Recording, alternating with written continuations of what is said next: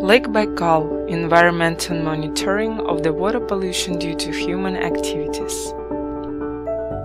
Somewhere in the faraway Siberia where legends are still alive, there is a lake, one of the oldest, the deepest, and the most sophisticated places in the world, the true pearl of Siberia, Lake Baikal.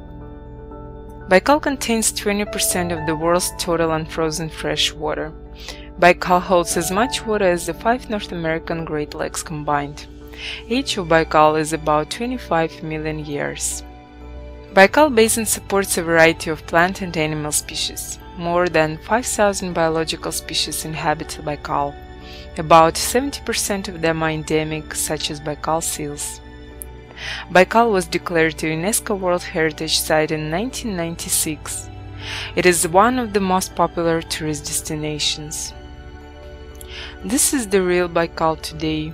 Baikal pollution of surface and groundwater bodies is an essential component of a negative impact on the lake. It is a complex problem, such as water pollution and air pollution. The Selenga River is the main inflow and the main source of pollution in Lake Baikal, with its waters fall into the lake as pollutants from disposed industries and chemicals from agriculture sites. Today the greatest threat of pollution to the lake is posed by following. The Baikalsk pulp and paper mill, which is located on the southern shore and creates over 50,000 cubic meters of water pollution and 20,000 tons of air pollution each year oil and mineral resources, mining, industrial sites, municipal wastewater treatment facilities, thermal and electric power stations, agriculture, railway systems, cities and villages, water transport, hunting and fishing, tourist and recreation centers.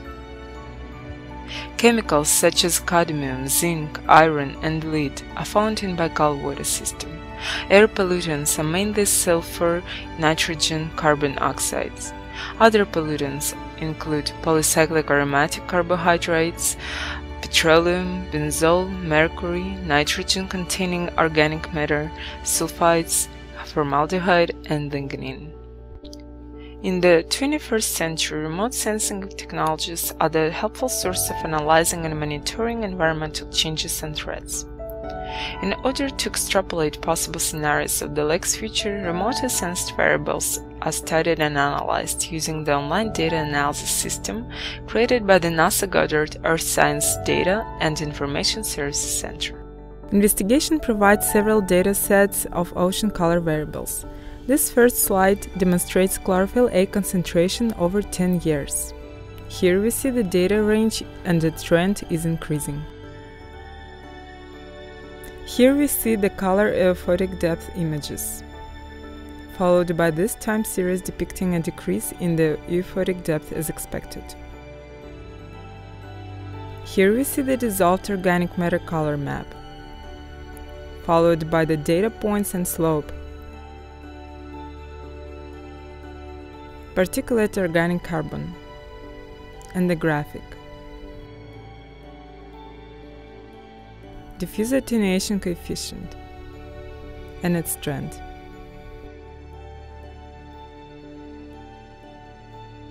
Analyzing current trends in Lake Baikal based on changes in ocean color variables over the last 10 years period, it is most likely that Lake Baikal will develop dead zones in future, when algae and phytoplankton are abundant in bodies of water, with excessive nutrients and pollutants if no precautions are taken. This algae bloom is harmful to aquatic environment, marine animals, and humans, causing eutrophication because of the production of toxins and oxygen depletion. Algae bloom is the alert and strong evidence of the increased pollution in Lake Baikal. Possible solutions include mitigation and adaptation.